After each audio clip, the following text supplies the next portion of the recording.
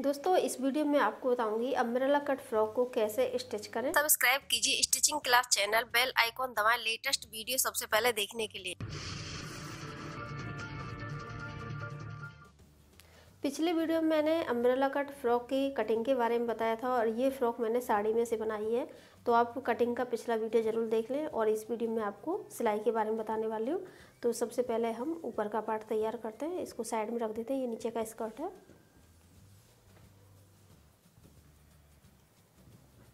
तो देखिए, ये हमारा आगे का पार्ट है।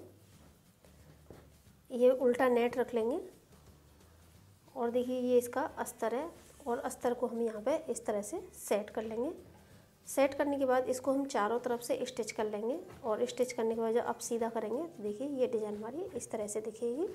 इसी तरह से पीछे का पीस भी हम तैयार कर लेंगे। और जो हमारी नेक पट्टी है, उसके बारे में बताती हूँ। तो देखिए, ये नेक पट्टी है तो नीचे मैंने पट्टी रख ली है, ऊपर से कैनवास और मैंने आधा इंच ये कपड़ा ज़्यादा लिया था।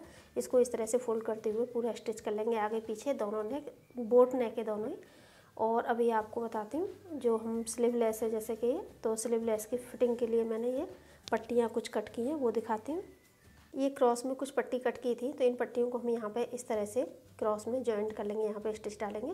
ये पट्टी इस तरह से सीधी हो जाएँगी, सारी पट्टियाँ हम तैयार कर लेंगे। और अभी आपको इस कट के बारे में बताती हूँ। तो देखिए, ये इसका अस्तर है। ये एक पार्ट हम इस तरह से खोल देते हैं और देखिए, जो दूसरा पार्ट है, इसको भी खोल देते हैं। तो देखिए, दोनों पार्टों को हम यहाँ से साइड से स्टिच कर देंगे, दोनों साइड से। स्टिच करने के बाद नीचे इसमें छोटा छोटा सिलाई डाल के इसकी फिनिशिंग दे देंगे। आप चाहें तो इसकी पीको भी कर सकते हैं। तो हाफ़ इंच हम इस तरह से फोल्ड कर देंगे पूरा राउंड में। जब ये तैयार हो जाएगा तो फिर जो नेट का स्कर्ट है उसको तैयार करेंगे। तो देखिए जो हमारी स्कर्ट है, ये इसकी कमर है और आपको नीचे का घेर दिखाते हुए देखिए इसमें काफ़ी घेर है क्योंकि ये अम्ब्रेला कट बनाई है हमने और यहाँ पे हम पीको कर देंगे। पीको करने के बाद फिर हम इसको अस्तर के साथ कमर में स्टिच करेंगे और फिर ब्लाउज में।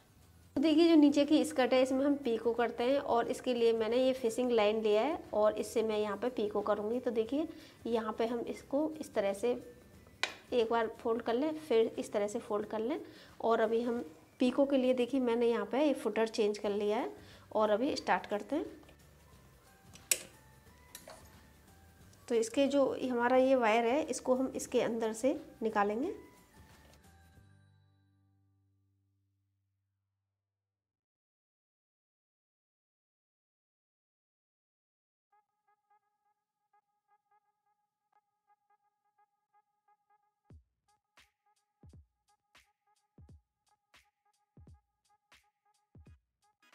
तो देखिए, पूरा हमने राउंड में पीको कर दिया है और देखिए, यहाँ पे अभी हम साइड फिटिंग करेंगे। उसके लिए देखिए, जितना हमने हाफ़ इंची मार्जिन लिया है, क्योंकि तो राउंड में तो हमारा कमर जो था ट्वेंटी एट था तो ये फोर्टीन आएगा। तो एक बार इसका मेज़रमेंट ले लेते हैं और फिर यहाँ पे स्टिच डालेंगे। तो देखिए, इसको डबल फोल्ड है, यहाँ से ही हम मेज़रमेंट ले लेते हैं इस तरह से। तो देखिए, ये ट्वेंटी एट यहाँ पर आ रहा है और इतना मार्जिन हमारा स्टिचिंग में चला जाएगा।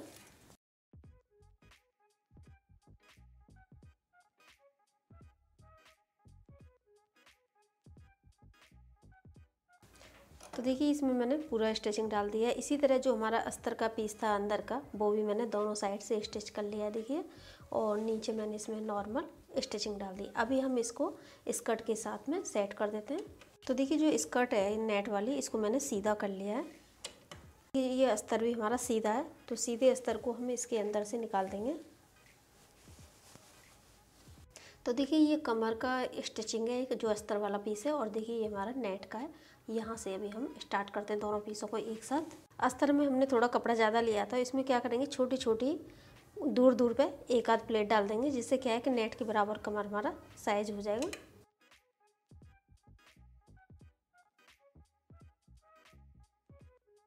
तो देखिए, मैंने पूरा राउंड में इसको स्टिच कर ली जैसे बताया था छोटी छोटी दूर दूर में प्लेट डाल दी। इससे ही क्या है कि अस्तर हमारा थोड़ा ठीक रहेगा, क्योंकि ऊपर का तो अम्ब्रेला है तो लूज रहता है।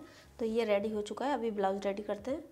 तो देखिए, जैसे मैंने बताया था, ब्लाउज को मैंने पूरा अस्तर के साथ में इसको स्टिच कर लिया है। और देखिए, यहाँ पे भी मैंने एक इस तरह से स्टिचिंग डाल दी है। इसे को क्या है, हम प्रिंसेस कट में कन्वर्ट कर देंगे, क्योंकि ये नेट है और ये कॉटन है तो दोनों कपड़े एक साथ सेट नहीं हो पा रहे हैं। तो पहले आप इसको स्टिच डाल लें, जिससे कि प्लेट डालते समय आप अच्छे से प्लेट डाल सकें। तो जो हमने मार्किंग की है, यहाँ से यहाँ तक हम प्लेट डालेंगे और इसको देखो, प्रिंसेस कट में भी कन्वर्ट करते हैं उसकी भी मार्किंग कर लेते हैं। तो देखिए, नीचे से आपको कुछ भी नहीं करना है, क्यों? नीचे तो जो हमारी ये प्लेट है, जो यहाँ से स्टिचिंग होने वाली है फोल्ड होके, यहाँ से हम इस तरह से मुड्डे की तरफ़ ले जाएँगे और यहाँ से हल्की सी सिलाई रहेगी और ऊपर जाके थोड़ी सी सिलाई ज़्यादा हो जाएगी। इससे क्या है, हमारा साइज़ कप साइज़ भी अच्छे से बन जाएगा और इसकी फिटिंग जो है परफेक्ट आएगी। तो अभी हम इसमें प्लेट डालना शुरू करते हैं। तो पहले नीचे की प्लेट डाल लेते हैं। तो देखिए, सबसे पहले हम नीचे वाली प्लेट डाल देते हैं। तो देखिए, नीचे वाली प्लेट मैंने स्टिच कर दी है। अभी जो हमारी मुड्डे वाली प्लेट है, इसको भी स्टिच करते हैं।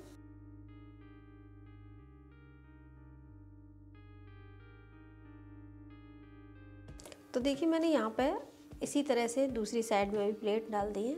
तो आप देखेंगे, सीधी तरफ़ देखिए, अच्छे से हमारा ये सेप तैयार हो गई है। अभी हम नेक तैयार करते हैं। तो उसके लिए जैसे मैंने बताया था, वैसे मैंने इसको स्टिच कर लिया और यहाँ पे नेक में हम स्टिच कर देते हैं।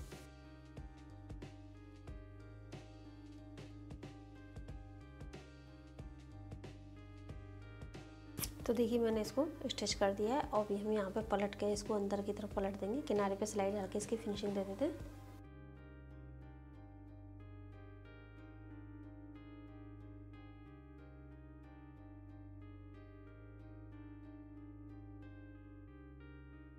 देखिए नेक की फिनिशिंग हो चुकी है। इसी तरह मैंने बैक साइड का पीस भी तैयार कर लिया है। और अभी हम इसको शोल्डर से स्टिच करते हैं। तो जो बैक साइड का पार्ट है, मैंने इसको इस तरह से फोल्ड करके अभी नेक पे फिनिशिंग दी हुई है खाली पट्टी लगाई है। तो देखिए, उसके लिए आपको इसको सीधा रखना है आगे के पार्ट को और पीछे वाले पार्ट को यहाँ पर रखेंगे। क्योंकि इस पट्टी से हम अगर स्टिचिंग डालेंगे यहाँ पर तो शोल्डर पर बहुत अच्छी फिनिशिंग आ जाएगी। तो देखिए, इस पट्टी को हम अंदर की तरफ़ इस तरह से फोल्ड कर देंगे और यहाँ पर स्टार्ट करते हैं स्टिचिंग डालना। तो देखिए मैंने यहाँ पे शोल्डर पर डबल स्टिच डाल दी एक किनारे पर डाल दी दोनों तरफ़, और अभी हम इसको पलट देते हैं। तो आप यहाँ पे देखेंगे, देखिए कितनी अच्छी फिनिशिंग आ रही है, और अभी इस पर किनारे पे सिलाई डाल देते हैं।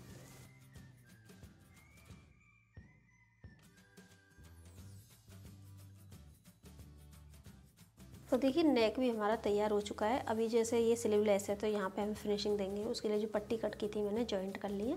इस तरह से डबल फोल्ड कर देंगे और एक साइड से हम स्टार्ट करेंगे यहाँ से लेके यहाँ तक।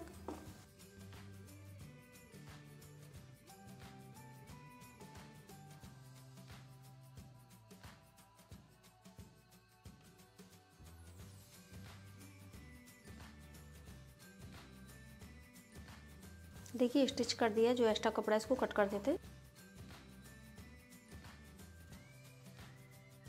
तो देखिए, यहाँ पर स्टिच डाल दिया है और यहाँ पे हम किनारे पे सिलाई डालते हैं। इसको इस तरह से फोल्ड कर देंगे। अभी सिलाई डाल देंगे, बाद में तुरपाई कर सकते हैं। सिलाई को निकाल दें फिर और इसी तरह से मैं दूसरी साइड का आम होल भी तैयार कर लेती हूँ।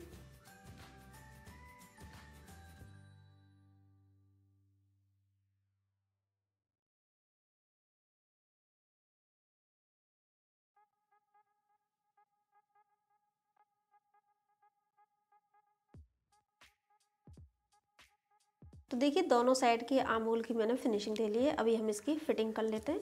उसके लिए हम ब्लाउज को उल्टा रख लेते हैं। देखिए, हमने यहाँ पे दो इंच एक्स्ट्रा लिया था। देखिए, एक साइड मार्किंग ऑलरेडी है, दूसरी साइड में मार्किंग कर लेते हैं।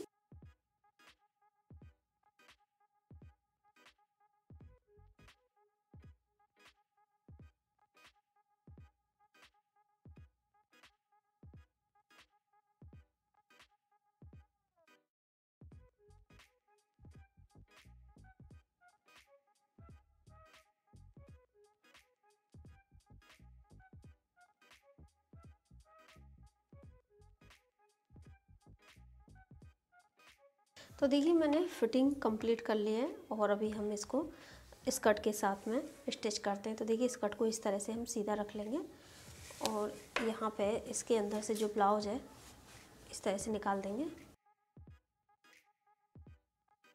और देखिए, जहाँ पे हमारा ये जॉइंट है और ये साइड का जॉइंट है, इसको हम यहाँ पे इस तरह से सेट कर लेंगे और पूरे राउंड में स्टिच डाल देते हैं।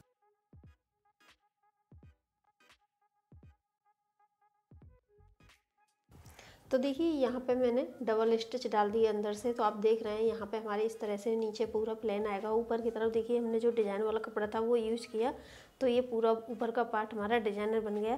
और देखिए, जो प्रिंसेस कट में इसको कन्वर्ट कर दिया, इसकी वजह से सेप भी बहुत अच्छी बैठेगी आपको। तो आप देख रहे हैं नेक भी हमारा कितना सुंदर है, ये स्लीवलेस है। और नीचे की तरफ़ आप देखेंगे तो इसमें पूरा घेर आएगा। तो देखिए कितना सुंदर हमारा ये अम्ब्रेला कट फ्रॉक बनकर तैयार हो गया है। तो आप इस आसान तरीके से साड़ी में से अम्ब्रेला कट फ्रॉक बना सकते हैं। दोस्तों, मुझे उम्मीद है कि हमारा वीडियो आपको पसंद आया होगा। वीडियो को शेयर करें लाइक करें चैनल सब्सक्राइब करें। Thank you